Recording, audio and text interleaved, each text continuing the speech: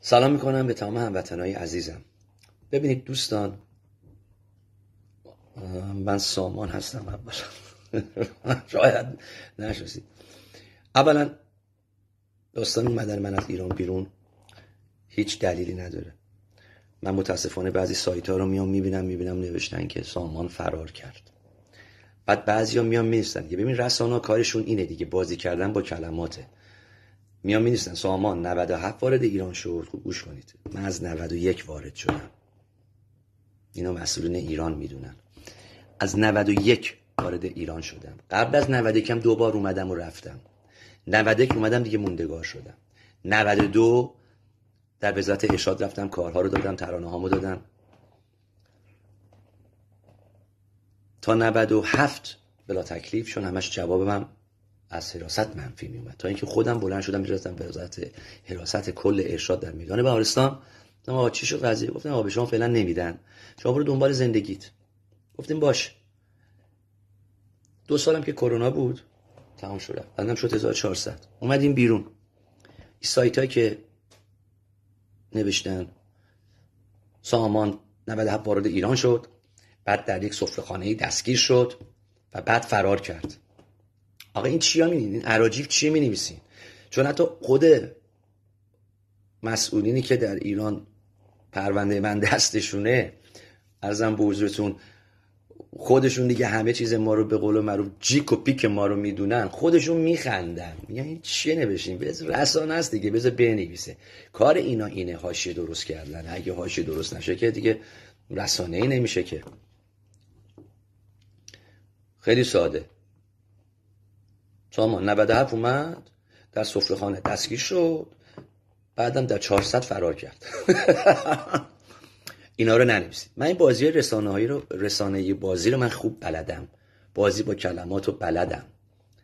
با همین رسانه یه نفر گنده می‌کنن با همین رسانه ها یه نفر خراب بکنن. نه شما نمی‌تونید. ما رو گنده بکنید چون گنده فقط یه نفر اونم خداست. ما همه بنده اون گنده هیم دو نمی‌تونن منو خرابم بکنید. میدون چرا؟ چون اونایی که بعد منو بشناسن در داخل ایران می‌شناسن و می‌دونم من هیچ مسئله ندارم. بر همین پاسپورت بهم دادن. به تعداد چهار پنج بار تو ایران که بودم توی مدت رفتم بیرون. یه بار به دلیل فوت مادرم بوده رفتم بیرون. یه بار به دلیل فوت پدرم بوده رفتم بیرون. یکی دو بارم برای کار و خوندن رفتم بیرون. یه بارش که کرونا شد اصلا دیگه دو سه روز خوندیم گفتن آقا نمیشه. برگشتم. یه بارشم رفتم وان خوندم که یه ماه بودم خوندم برگشتم. دوباره باز یه بار دیگه وان رفتم خوندم برگشتم. پس جمعا پنج بار شش بار من از ایران رفتم بیرون. همش پس تو ایران بودم. در ایرانم خوندم. اگرم منو گرفتن به خاطر که من مجوز نداشتم. و من نمی‌تونستم بخونم. ببینید من مجوز نداشتم. به من مجوز ندادم. وقتی شما بدون مجوز میری می‌خونی بعد تو اینستاگرام خودت هم علنا اعلام می‌کنی که سامان در فلان جا در تاریخ فلان خواهد خون. خب میام بالا سرت دیگه. خب میام می‌گیرم بازداشت می‌کنن کارت غیر قانونی حالا از این بدتر اون کسیم که صاحب اون مکانه خوشم مجوز موزیکش تموم شده نرفته تمدید کنه. اونم آوردن با من بردن تو. جفتمون با هم رفتیم تو. چون اون هم در کار خودش خلاف کرده بوده هم من در کار خودم خلاف کرده بودم. حالا من می اومدم بیرون بعد بوق و کرنا می‌کردم. یا می اومدم گفتم ای چرا منو گرفتید؟ مگه من مجوز داشتم؟ پس من کار غیر قانونی کردم. هر جای دنیا شما کار غیر قانونی بکنید می‌گیرن تو درمون امارات. تا permission کنسرت صادر نشه اون کنسرت اجرا نمیشه. تا permission ی که به اون خواننده ندن خواننده حتی نمی‌تونه بدون اجازه بره بخونه. چون اگه بفهمن صاحب اونجا رو جریمه می‌کنن. جریمه سنگین هم می‌کنن. ترکیه هم همینطوره. کنسرت وقتی می‌خواد اجرا بشه فقط تنها جایی که آزاد شما می‌تونی بخونی فقط همین به قول معروف دیسکوها و night club ها و رستوران هاست. ولی کنسرت خودش مجوز می‌خواد عزیز من. تو خود آمریکا هم بعد شما کنسرت می‌گیری بعد دولت در جریان باشه چون تکسشو بعد بدی مالیاتشو بعد به دولت بدی. کانادا هم همینه اروپا هم همینه که تمام مالیات ها و تکس کنسرت گذارا میدن. پس ببین هر دنیا قانون خودشو داره دیگه. ما بدون اجازه رفتیم خوندیم خب جزاش هم کشیدیم. چون دوستم داشتن یا روز گفتم برو تو. سند بذار بیا بیرون. ما هم اومدیم بیرون. دیگه نیومدیم بوق و کرنا کنیم که. چون قضیه ای نبود. چرا باید قضیه رو ما گنده کنیم؟ چرا ما اکاه و کوه بسازیم؟ حالا بیام این ور آب بگم آره من رفتم. اونجا منم زدن کتکم زدن علم کردن. نه بابا جونم اصلا همچی چیزایی نیست. اینها اینها ناحقیه. بله من شاید گله من باشم به خاطر که هفت سال در ایران به قول معروف الاف شدم انتظار کشیدم. ولی باز خودم خواستم. شاید اون بار اول که نامه من منفی اومد من بعد از ایران میذاشتم می‌رفتم. و, عذر منم موجه بود. و اگه اومدم اینجا میخوندم حتی باز می‌خواستم باز برگردم بیام ایران کسی توس بگه تو برچی رفتی خوندی. شما من مجوز ندید من اول اومدم قانون شما رو احترام گذاشتم. اومدم از طریق وزارت فرهنگ و اشراد تقاضا دادم. گفتم من می‌خوام تو خاک خودم قانونی بخونم. درسته؟ وقتی شما من نامه منو منفی این تکلیف من مشخصه. ولی من باز دوباره گفتم نه. دوباره تجدید نظر دوباره تجدید نظر. دیگه سه بار وقتی نامت منفی میاد یعنی چی برادر؟ یعنی بعد بری دیگه. به زبان محترمانه یعنی بفرمایید برید. تا اینکه خودم بلند شدم رفتم حراست ارشاد میدان بهارستان. کل شما گفتن آقا جون من شما فعلا دنبال زندگیت باش. فعلا نمی‌تونیم به شما بدیم. تموم شده رفت. هر زمان بخوایم بدیم به بقیه بدیم شما می‌تونید بخونید. یعنی به همه. یا باید همه نخوانن یا باید همه بخوانن. تمام شده رفت. پس اینه که تو رسانه می‌رسید داش سامان فرار کرد و اینا فرار مال دزد و قاچاقچی و خلافکاره. من که پاسپورتم رو رفتم گرفتم ده بارم خارج شدم اومدم چه دزدی؟ چه چه فراری؟ که کسی فرار می‌کنه کوه و خاک و خل و بیابون میره دیگه نه فرودگاه قانونی. نه گیت immigration رد شه. نه گیت سپاه و به قول معروف اطلاعات سپاه رد بشه. مگه علکیه؟ اونا مثلا اونجا بابو نشستن اونجا پس اگه اینجوری باشه که یارو میاد آدم می‌کشه از ایران هم میره بیرون دیگه. نه عزیزم این خبرا نیست فکر نکنید. ایران مملکت خیلی امنیتیه. خیلی امنیتیه. پس شما باید واقعا مشکلی نداشته باشی. پس اینم ننویسید دیگه سامان فرار کرد. کجا فرار کرد؟ سامان رو اومد خارج ایران کاراشو اینور پخش کنه. چون داخل ایران شرط فعلا نبود براش. ده سال نخوند. دوازده سال نخوند. حالا چیزا هم که می‌خوام از در من بشنوید. زمانی که وارد استانبول شدم در سوداتور شهرام شبپره عزیز دوست همکار عزیز من که دلم براش تنگ شده بود و واقعا این آدم خیلی خوبه. اهل نقاشی است نه چیزی. جیگره. عشق دله. من دید گفت سامان می‌خوای بخونی؟ گفتم شهرام من اومدم اینجا تو رو ببینم. نه جون من بخون دیگه یه دونه آهنگمون شم دنیا رو بخون. من خودم خودم ببین دلتنگن. دلتنگ صدام بودن حتی خود همکارام. شهرام منو دعوت کرد. رفتم شم دنیا رو خوندم. مردم عشق کردن. خودش بلند شد در پشت درام واسط با هم ساز زد. آخه از این عشق و از این به قول معروف صفا بالاتر چی؟ که یه هنرمند پیشکسوتی مثل شهرام شبپره بعد از این همه سال و تجربه بیاد واسه پشت سر سامان درام بزنه. بگه سامان بخون من برای درام بزنم. این از آقاییشه این از معرفتشه این از پیشکسوت بودنشه این از اعتماد به نفس خودشه. و ببینید از زمان بعد ورودم باز به استانبول مورد عشق و انرژی و توجه همه قرار گرفتم همه خوشحال شدن که من اومدم بیرون. چرا؟ گفتن سامان حداقل اومد بیرون باز دوره بتونه کاراشو بده بیرون ما صداشو بشنویم.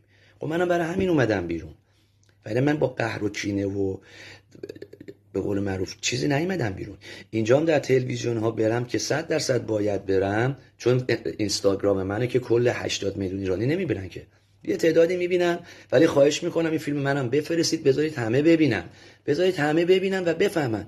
نرن تو رسانه های نمی‌دونم یوتیوب و این و اون و اون و اونو ببینن و یه تیپ بزنن سامان خواننده لس آنجلسی فرار کرد. یعنی چی؟ این کارا چیه؟ این حرفا چیه؟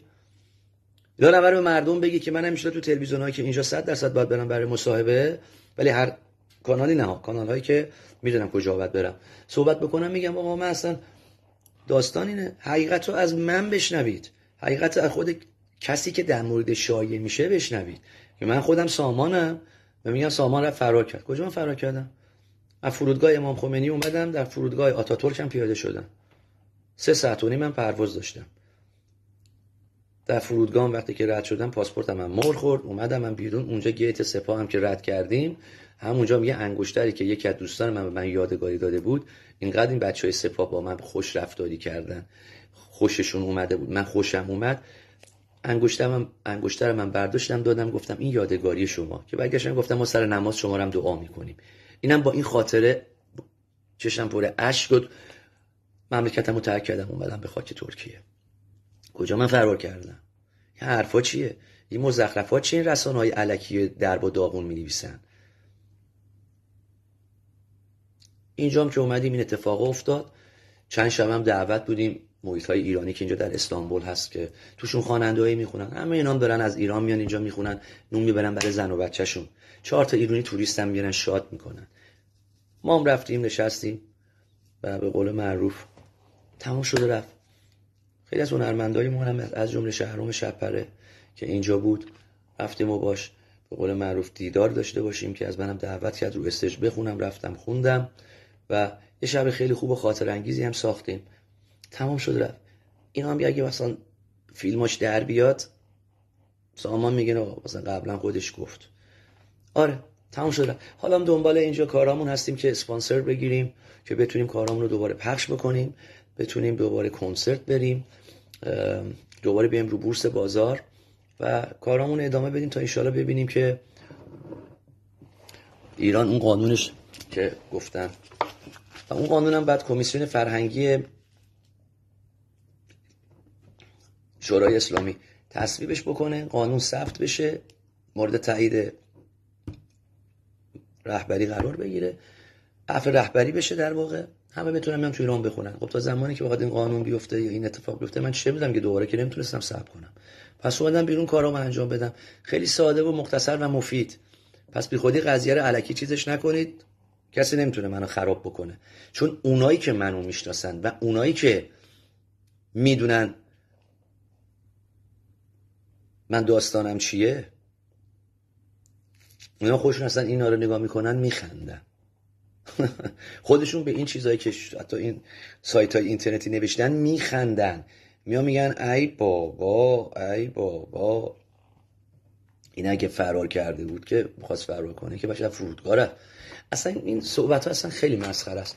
خواهش می‌کنم منتظر کارهای جدید من باشید دیگه بیشتر سرتون رو درد نمیارم. ولی من موظفم این حرفا رو بزنم.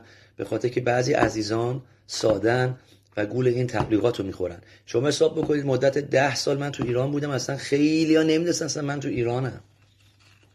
اگه من می‌خواستم دنبال حاشیه باشم خیلی راحت می‌تونستم یه کاری کنم که تو عرض شیش ماه اولی که تو ایرانم کل ایران بفهمه من ایرانم. دنبال این داستانا نبودم. اومده بودم خیلی به قول معروف چرا خاموش سر بزیر برم اشرار کارامو انجام بدم. دو شب من قشم برام کنسرت گذاشتن. گروه سون قبل از من بود. بعد من سالار عقیلی بود. یک شبم دو شب شد. تمدید شد. اگه من مشکل داشتم توستم قشم بخونم.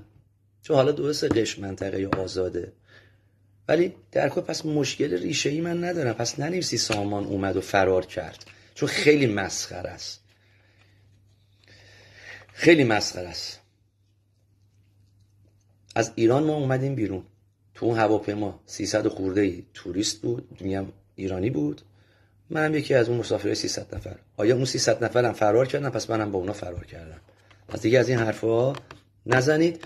منتظر کارهای جدیدم ان باشید که ما کارها رو سریع بدیم بیرون کلیپاشو بگیریم و بتونم که ماهی یک دونه ترک برای شما بدم بیرون که بتونیم ایشالله به زودی با کنسرت شروع کنیم.